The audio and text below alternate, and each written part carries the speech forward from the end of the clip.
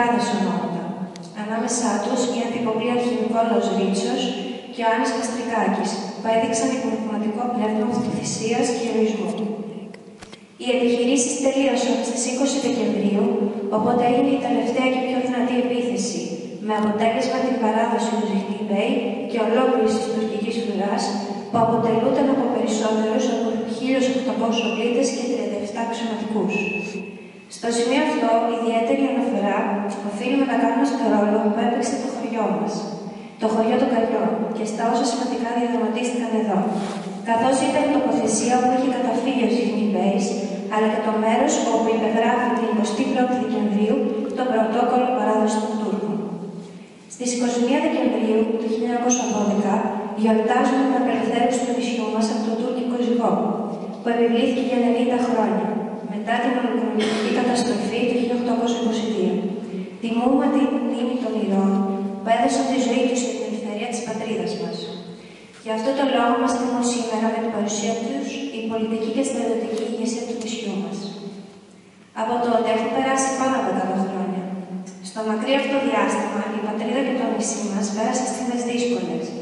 Τα γεγονότα που ακολούθησαν την απελευθέρωση σημάδευσαν την πορεία μας. Όμως η ελευθερία δεν χάθηκε. Μπορεί να εξαργυρώθηκε με αίμα, αλλά αυτή είναι η μοίρα όσο πιστεύω σε αυτήν. Γιατί η ελευθερία δεν χαρίζεται, κατακτιέται. Χρόνια πολλά στοιχείο μας,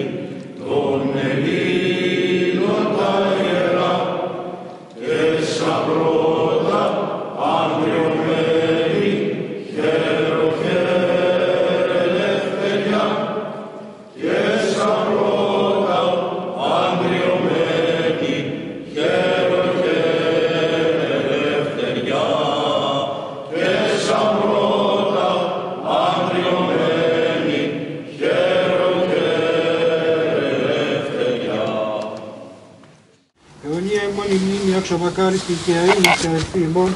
Αιωνία ημών η μνήμη αξιομακάριστη και αείμνηστη αδελφοί ημών. Διευχών των Αγίων Πατέρων ημών. Πολιτής κύριος Εμμανουήλ Κουτουλέτης.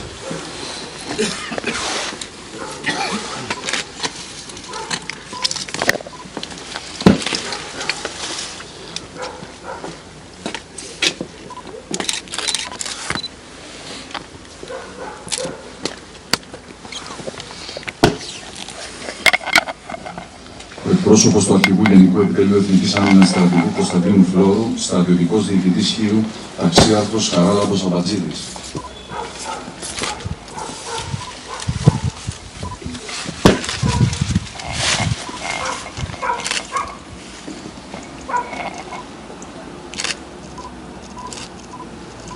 Τη συνείδηση όλων των χετών, όσοι επέτρεψε στην απελευθέρωση του νησιού από την Οθωμανική κατοχή και τις ενώσεις του με την υπόλοιπη Ελλάδα. Στην πραγματικότητα όμως, η 11η Νοεμβρίου 1912 είναι η μέρα που ο ελληνικός τώρα εμφανίστηκε στα νερά της Χίου και αποβιβάστηκε στην περιοχή κοντά. Τότε ξεκίνησε ο αγώνας για την απελευθέρωση του νησιού. Διήρκησε περίπου 1,5 μήνα και ολοκληρώθηκε σαν σήμερα τις 21 Δεκεμβρίου του 1912. Τη μέρα εκείνη ο Τούρκος διοικητής Ζυγνής Μπέης, βλέποντας ότι η βοήθεια που περίμενε δεν ερχόταν και με τον κίνδυνο να προδεκατιστεί, δέχτηκε να παραδοθεί. Αυτή ήταν η μελλοντική που ακολουθείται σε αυτές τις περιπτώσεις, φτιάχτηκε ένα πρωτόκολλο που υπογράφηκε στις καρδιές εδώ στο μνημείο που βρισκόμαστε και τιμάμε σήμερα, όπου ο Ζυγνής Μπέης παραδόθηκε άνεφορο τον απελευθερωτή του νησιού σταγματάρχη Νικόλαο Δελαγραμμάτικα. Χρόνια πολλά σε όλη τη Χίο, χρόνια πολλά στο χωριό μας. Τα δώρα της ελευθερίας που μας χάρισε, την πίστη μας στον Χριστό, την αγάπη μας στην πατρίδα και τον σεβασμό στην ελληνοχριστιανική οικογένεια.